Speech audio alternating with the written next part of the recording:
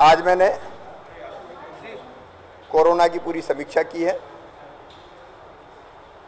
Oxygen की कमी का विषय महत्वपूर्ण था, जो मुझे चिंतित कर रहा था। आज मैंने महाराष्ट्र के मुख्यमंत्री श्री उद्धव ठाकरे जी से भी बात की और उनसे आग्रह किया है कि ऐसे संकट के समय ऑक्सीजन की सप्लाई नहीं रोकनी चाहिए। उन्होंने मुझे आश्वस्त किया है कि दिक्कत उनको भी है, कोविड के पेशेंट्स के कारण। लेकिन वो यथासंभव प्रयास करेंगे कि मध्य प्रदेश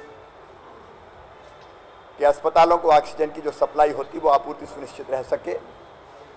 लेकिन हमने वैकल्पिक व्यवस्था भी की है। प्रारंभ में मध्य प्रदेश में ऑक्सीजन की उपलब्धता थी केवल 50 टन। अभी बढ़ा के हमने 120 टन कर ली है।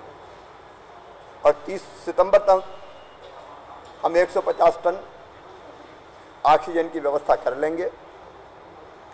मध्य प्रदेश को महाराष्ट्र से 20 टन ऑक्सीजन मिलती थी। आईनॉक्स एक कंपनी नागपुर से सप्लाई करती थी। अब वही कंपनी हमें 20 टन ऑक्सीजन की सप्लाई गुजरात से और उत्तर प्रदेश से करेगी। हमारे यहाँ जो ऑक्सीजन के छोटे छोटे प्लांट हैं, उनकी क्षमता भी केवल 50-60 परसेंट थी। 50-60 परसेंट क्षमता पर चल रहे थे।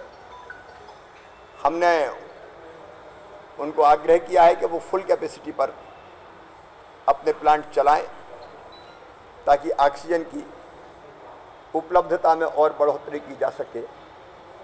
शार्ट टर्म सारी व्यवस्था हमने कर ली है। मैं प्रदेश की जनता को आश्वस्त करता हूँ कि ऑक्सीजन की कोई कमी कोविड पेशेंट्स के लिए नहीं रहेगी।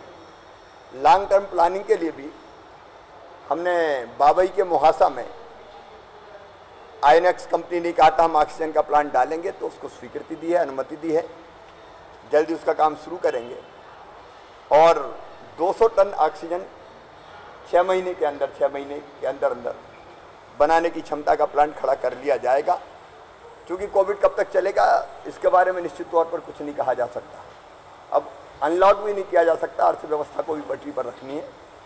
इसलिए मास्क लगाना यही उपाय है उससे बचने का। दूसरी मेरी बड़ी चिंता थी, जो आज हमने फैसला किए हैं। एक, हमको हमारे जो फीवर क्लिनिक्स है, सारे कलेक्टर्स को निर्देश दिए हैं, प्रभारी अधिकारियों को। वहाँ टेस्टिंग की पूरी व्यवस्था हो।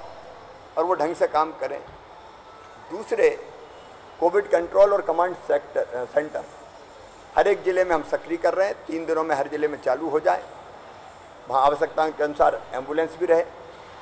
ताकि जो होम आइसोलेशन में लोग हैं, उनकी लगातार मॉनिटरिंग की जा सके। हमने अस्पतालों में पर्याप्त बिस्तर रहे। इसकी भी समीक्षा और व्यवस्था की है। ग्वालियर में, जबलपुर में थोड़ा चैलेंज है। हमारे मेडिकल एजुकेशन मंत्री Vishwas Sarang A C S Suleman, ज़रूरत पड़ेगी तो वहाँ जाएँगे। नए और